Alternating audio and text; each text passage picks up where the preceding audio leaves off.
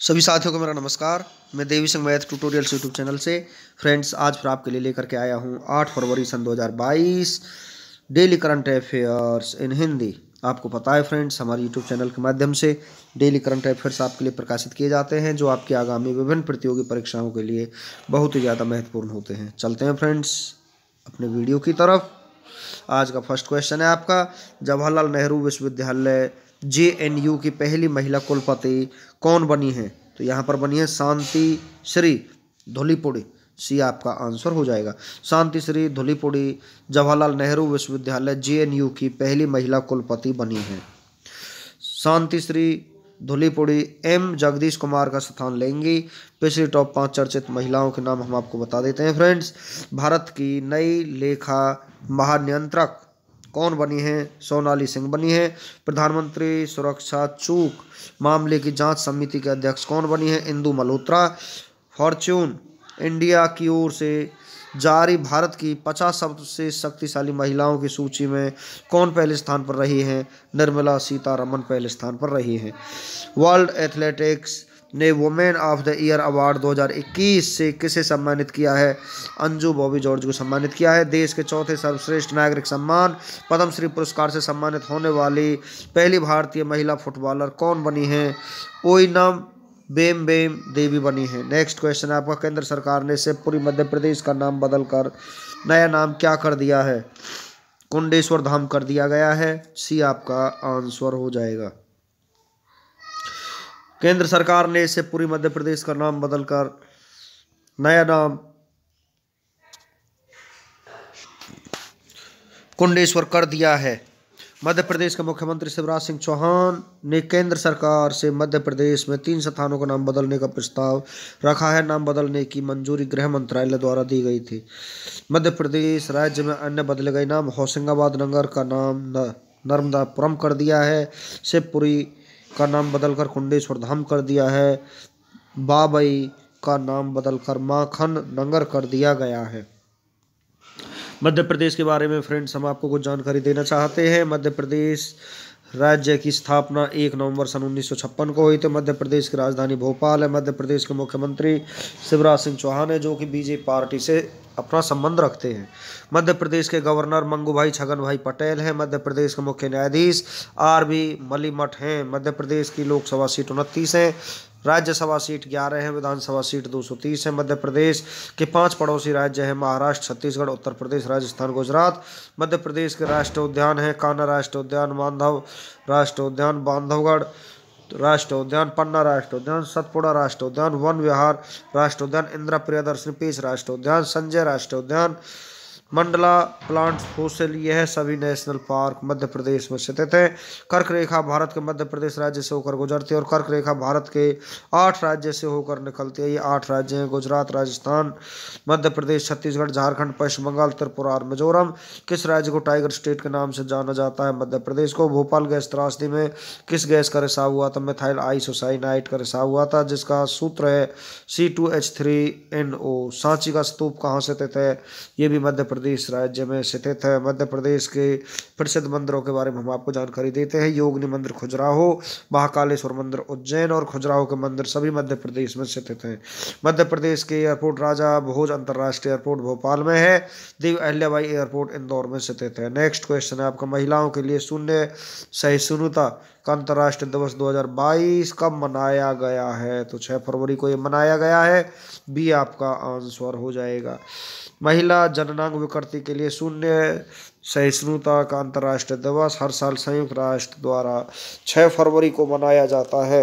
यह पहली बार वर्ष 2003 में मनाया गया था। उद्देश्य इसका मुख्य उद्देश्य महिला जननांग विकृति को प्रथा को जड़ को समाप्त करना और लोगों में महिलाओं के प्रति सम्मान और स्नेह पैदा करना है। 2022 की थीम है no time for global inaction, unite fund and act to end female genital.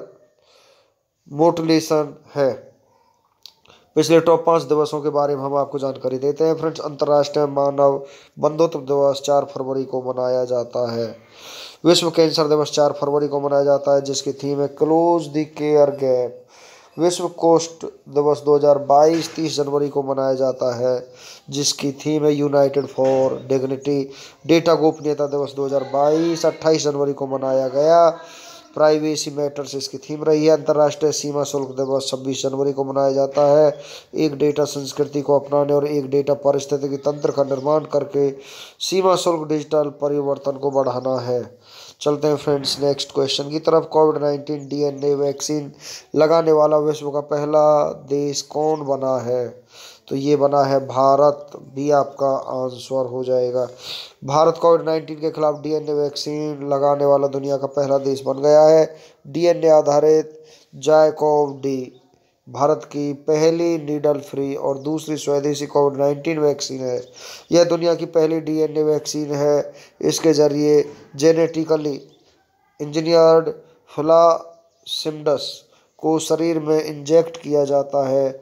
इससे शरीर में कोविड नाइन्टीन स्पाइक प्रोटीन का उत्पादन होने लगता है और घातक वायरस से बचाव वाले एंटीबॉडी पैदा हो जाती हैं। पिछले टॉप पाँच विश्व का पहले से जुड़े प्रश्नों का रिवीजन मैं आपको करा देता हूँ फ्रेंड्स विश्व की पहली हाइड्रोजन से चलने वाली flying boat the jet zero emission को कहाँ लॉन्च किया जाएगा? दुबई में लॉन्च किया जाएगा। दुनिया की पहली बिटकॉइन सिटी किस देश में स्थापित की जाएगी? अल सलवाडोर में। लोकतंत्र के पहले शिखर सम्मेलन की मेजबानी किस देश ने की है? अमेरिका ने की है। किस देश ने पहली बार यातायात के लिए अपना इन्फिनेटिव ब्रिज खोला है, दुबई संयुक्त अरब अमीरात ने खोला है। अंतरिक्ष में शूट होने वाली विश्व की पहली फ़िल्म कौन सी है? दी चैलेंज है। नेक्स्ट क्वेश्चन है आपका। Football tournament Africa cup of nations 2021 का खिताब किसने जीता है? सेनेगल ने ये खिताब जीता है। ए, आपका आंसर हो जाएगा। सेनेगल की फुटबॉल टीम ने फाइनल में मिस्र को पेनल्टी पर चार दो से हराकर अफ्रीका कप ऑफ़ नेशंस 2021 का खिताब जीत लिया है। संस्करण तैतीसवां रहा है। आयोजन स्थल कैमरून, अफ्रीका में है। ICC spirit of cricket award 2021 किस क्रिकेटर ने जीता है? डेरिल मिसल ने जीता है। Laureus world breakthrough of the year 2022 का पुरस्कार के लिए किस भारतीय खिलाड़ी का नाम नामांकित किया गया नीरज चोपड़ा का नाम नामांकित किया गया है, जिसने भाला फेंक में गोल्ड मेडल जीता था। बैडमिंटन टूर्नामेंट ओडिशा ओपन 2022 पुरुष एकल का खिताब किसने जीता है? करण जॉर्ज ने जीता है। टेनिस टूर्नामेंट ऑस्ट्रेलियन ओपन 2022 में पुरुष एकल का खिताब किसने जीता है? राफेल नडाल ने जीता है। महिला हॉकी एशिया कप 2022 का खिताब किसने जीता है? तो ये जीता है जापान ने। नेक्स्ट क्वेश्चन है आपका। विकलांग व्यक्तियों के लिए भारत का पहला एआई आधारित जॉब प्लेटफॉर्म स्वराज बिलिटी को किस संस्था ने लॉन्च किया है? तो इसको लॉन्च किया भारतीय प्रौद्योगिकी संस्थान आईआईटी हैदराबाद ने लॉन्च किया है। बी आपका आंसर हो जाएगा। भारतीय प्रौद्योगिकी संस्थान आईआईटी हैदराबाद ने विकलांग व्यक्तियों के लिए स्वराज बिलिटी का बीटा संस्करण लॉन्च किया है। यह आर्टिफिशियल इंटेलिजेंस द्वारा संचालित एक जॉब पोर्टल है। उद्देश्य जॉब प्लेटफॉर्म स्वराजबिलिटी का उद्देश्य विकलांग लोगों को प्रासंगिक कौशल हासिल करने और नौकरी खोजने में मदद करना है। नागरिकों को बेहतर सेवाएँ प्रदान करने के लिए किस राज्य की सरकार ने एपी सेवा 2.0 पोर्टल 2.0 लॉन्च किया है? आंध्र प्रदेश ने इसे लॉन्च किया है। लोगों के लिए संसद और उनके सांसदों की कार्रवाई की जानकारी हासिल करने के लिए डिजिटल संसद नामक ऐप किसने लॉन्च किया है? लोकसभा सचिवालय ने ये लॉन्च किया है। शोध गतिविधियों के बारे में जानकारी प्रसारित करने के लिए नाई पर रिसर्च पोर्टल को किसने लॉन्च किया है? डॉक्टर मनसुख मंडाविया ने इसको लॉन्च किया है।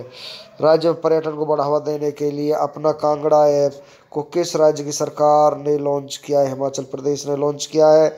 कोयला दर्पण पोर्टल को किसने लॉन्च किया है? तो ये अनिल कुमार ने इसको लॉन्च किया है। नेक्स्ट क्वेश्चन है आपका फोबर्स द्वारा जारी की गई रिपोर्ट के अनुसार एशिया के सबसे अमीर व्यक्ति कौन बने हैं? गौतम अडानी सबसे अमीर व्यक्ति बन चुके हैं। सी आपका आंसर हो जाएगा। फोबर्स के real time billionaire index के अनुसार अडानी समूह के चेयरमैन गौतम अडानी एशिया के सबसे अमीर व्यक्ति बन गए हैं। उन्होंने रिलायंस इंडस्ट्रीज़ के चेयरमैन मुकेश अंबानी को पीछे छोड़ दिया। इतना ही नहीं, इसी के साथ गौतम अडानी दुनिया के दसवें सबसे अमीर व्यक्ति भी बन गए हैं। Gautam Adani Adani group net worth नब्बे पॉइंट एक बिलियन डॉलर के साथ फ़र्स्ट नंबर पर है। मुकेश अंबानी रिलायंस ग्रुप से नेटवर्थ नवासी पॉइंट चार बिलियन डॉलर के साथ सेकंड नंबर पर है। Ma Huateng Tencent net worth छियालीस पॉइंट नौ बिलियन डॉलर के साथ थर्ड नंबर पर है। एलन मास्क टेस्ला दो सौ उनतालीस पॉइंट छः बिलियन डॉलर के साथ फ़र्स्ट नंबर पर बने हुए हैं। वर्ल्ड में सबसे अमीर व्यक्ति हैं बर्नार्ड अर्नाल्ड एक सौ चौरानवे पॉइंट छः बिलियन डॉलर के साथ सेकंड नंबर पर हैं। जेफ बेजोस अमेजन कंपनी के मालिक एक बिलियन डॉलर के साथ थर्ड नंबर पर बने हुए रिपोर्ट जारी करता फोबर्स के रियल टाइम बिलियनियर इंडेक्स मुख्यालय न्यूयॉर्क संयुक्त राज्य अमेरिका ने ये जारी किया है। नेक्स्ट क्वेश्चन आपका एशियाई विकास बैंक द्वारा जारी की गई रिपोर्ट के अनुसार इसने 2021 में भारत को रिकॉर्ड कितना ऋण प्रदान किया है? चार पॉइंट छः बिलियन अमेरिकी डॉलर का ऋण प्रदान किया है। बी, आपका आंसर हो जाएगा। एशियाई विकास बैंक द्वारा जारी की गई रिपोर्ट के अनुसार, इसने 2021 में भारत को सावरेन आधार, उधार में रिकॉर्ड 4.6 बिलियन अमेरिकी डॉलर का ऋण प्रदान किया है। स्थापना 19 दिसंबर 1966 को हुई थी। एशियाई विकास बैंक का मुख्यालय मांडलू योंग फिलीपींस में है। अध्यक्ष मासात सुगु असाकावा है। एशियाई विकास बैंक के सदस्य देश अड़सठ हैं। नेक्स्ट क्वेश्चन है आपका। ब्लूम सबरी इंडिया द्वारा प्रकाशित नामक पुस्तक के लेखक कौन है? तो इस पुस्तक के लेखक है जे साई दीपक ये आपका आंसर हो जाएगा। जे साई दीपक नामक पुस्तक के लेखक हैं। इसे ब्लूम्स सबरी इंडिया ने प्रकाशित किया है। Your best day is today पुस्तक को लिखा अनुपम खैर ने। आई एम नो मिसा पुस्तक को सोनू सूद और मीना अय्यर ने लिखा है। ओहो, मिजोरम पुस्तक को पी एस श्रीधरन पिल्लई ने लिखा है। Overdraft saving the Indian saver पुस्तक को उर्जित पटेल ने लिखा है। एंड एरा ऑफ़ डार्कनेस पुस्तक को ससु थरीर ने लिखा है। नेक्स्ट क्वेश्चन आपका फुटवियर कंपनी बाटा इंडिया की नई ब्रांड एम्बेसडर कौन बनी है? दशा पटानी इसकी नई ब्रांड एम्बेसडर बनी है। सी आपका आंसर हो जाएगा। बॉलीवुड अभिनेत्री Disha Patani footwear company Bata India की नई ब्रांड एम्बेसडर बनी है। जवाहरलाल नेहरू विश्वविद्यालय की पहली महिला कुलपति शांति श्री धोलीपुड़ी बनी है। फ्रेंड्स आपको एक फास्ट रिवीजन के तौर पर मैं आपको बता देता हूँ आज के करंट अफेयर्स को। केंद्र सरकार ने से पूरी मध्य प्रदेश का नाम बदलकर क्या कर दिया है? कुंडेश्वर कर दिया है। महिलाओं के लिए शून्य सहिष्णुता का अंतर्राष्ट्रीय दिवस 2022 कब मनाया गया? छः फरवरी को कोविड नाइन्टीन डीएनए वैक्सीन लगाने वाला विश्व का कौन सा देश बना है? बन चुका है, भारत बन चुका है। एक हज़ार छब्बीस में प्रसिद्ध सोमनाथ मंदिर पर हमला और लूटपाट किसने की थी? महमूद गजनवी ने की थी। पेड़ों की प्रसिद्ध प्रजाति सुंदरी किस वन में पाई जाती है? मैग्रोव वन में पाई जाती है। भारत का कोकिला किसे कहा जाता है? सरोजनी नायडू को कहा जाता है। विवेकानंद रॉक मेमोरियल कहाँ स्थित है? कन्याकुमारी में स्थित है। मानव शरीर का कौन सा हिस्सा? Osteoporosis. नामक बीमारी से प्रभावित होता है हड्डियाँ। मानव शरीर में सबसे बड़ी हड्डी कौन सी है? फीमर, जो कि जांग की हड्डी है। उत्तर प्रदेश की सीमा कितने राज्यों केंद्र शासित प्रदेशों के साथ लगती है? नौ के साथ। कान के पर्दे की जाँच के लिए किस उपकरण का उपयोग किया जाता है? ऑटोस्कोप का उपयोग किया जाता है। अल्बर्ट आइंस्टीन को किस वर्ष भौतिकी का नोबेल पुरस्कार दिया गया था? उन्नीस सौ इक्कीस में दिया गया था। भारत की समुद्री तट रेखा की कुल लंबाई कितनी है? सात हज़ार पाँच सौ सोलह किलोमीटर। भारत की समुद्री रेखा तट की लंबाई है। नेक्स्ट क्वेश्चन है आपका। एक हज़ार वनडे मैच खेलने वाली विश्व की पहली टीम निम्न में से कौन सी बन गई है? तो भारत बन चुकी है। भारतीय टीम एक हज़ार वनडे खेलने वाली पहली टीम है। भारत ने अपना पहला वनडे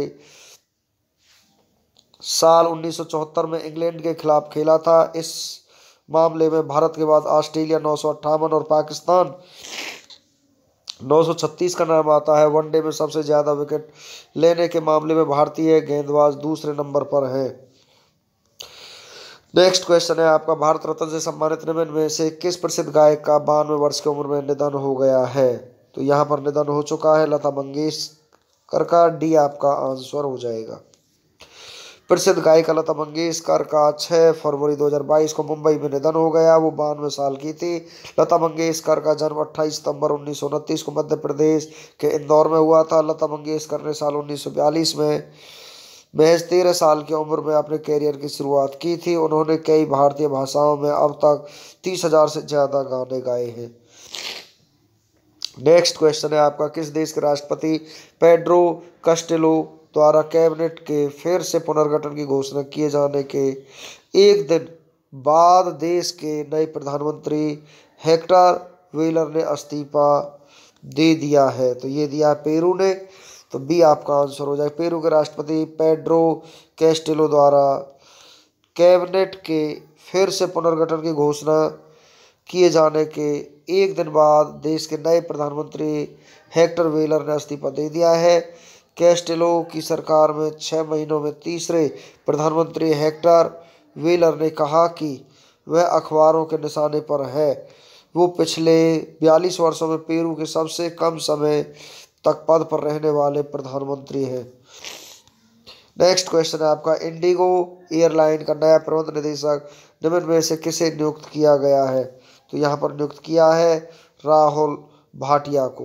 तो ये आपका आंसर हो जाएगा। भारतीय एयरलाइन इंडिगो ने अपने सह संस्थापक और प्रमोटर राहुल भाटिया को तत्काल प्रभाव से कंपनी के प्रबंध निदेशक के रूप में नियुक्त किया है। वो इंडिगो के पहले एमडी हैं, क्योंकि इससे पहले कंपनी का कोई प्रबंध निदेशक नहीं था। रोनोजॉय दत्ता इंडिगो के सीईओ हैं।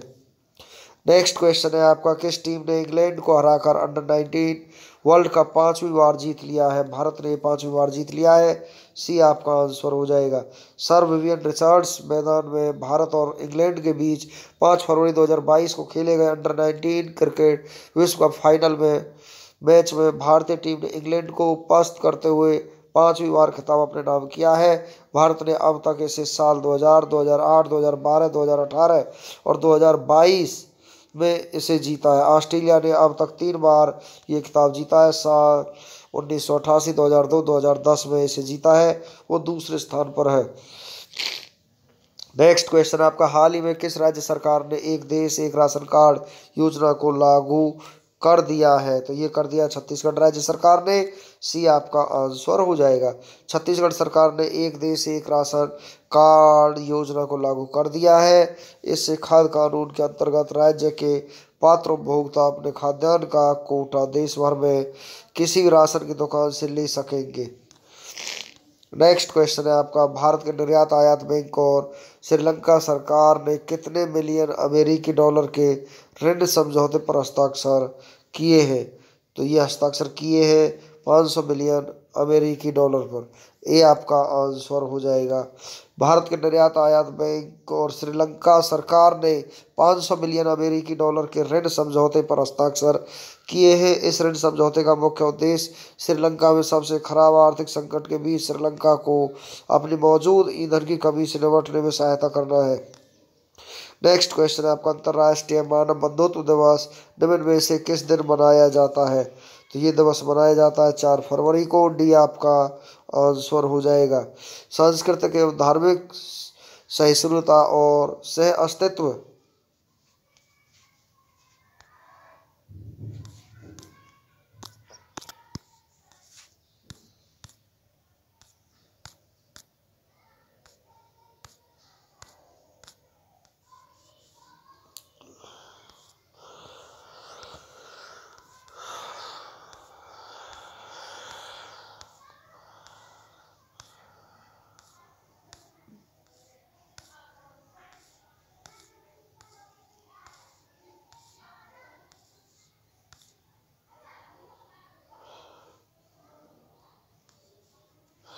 को बढ़ावा देने के लिए प्रतिवर्ष चार फरवरी को अंतर्राष्ट्रीय मानव बंधुत्व दिवस का आयोजन किया जाता है। यह दिवस पहली बार साल 2021 में संयुक्त राष्ट्र द्वारा आयोजित किया गया था। नेक्स्ट क्वेश्चन आपका सी चीन के झिजियांग क्षेत्र और किस देश के गवादर बंदरगाह को जोड़ने वाला एक आर्थिक गलियारा है? तो ये है आपका पाकिस्तान, सी आपका आंसर हो जाएगा। चीन, पाकिस्तान, आर्थिक गलियारा, चीन के उत्तर पश्चिमी, झिजियांग उइगर स्वायत्त क्षेत्र और पाकिस्तान के पश्चिमी प्रांत बलूचिस्तान में गवादर बंदरगाह को जोड़ने वाली बुनियादी ढांचा परियोजनाओं का तीन हज़ार किलोमीटर लंबा मार्ग है।